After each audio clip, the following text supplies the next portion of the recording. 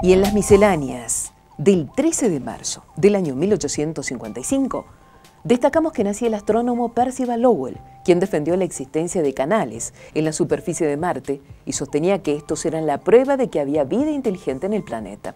Lowell fue en Estados Unidos el principal defensor de la existencia de canales en Marte. Había recogido esa idea de las observaciones y dibujos de Giovanni Schiaparelli, un astrónomo italiano de gran prestigio, que había notado la palabra canali en algunas estructuras alargadas de la superficie del planeta. Él se interesó por el tema y pasó varios años observando la superficie de Marte y realizando multitud de dibujos de esa superficie. Es más, hay tres libros con estas teorías.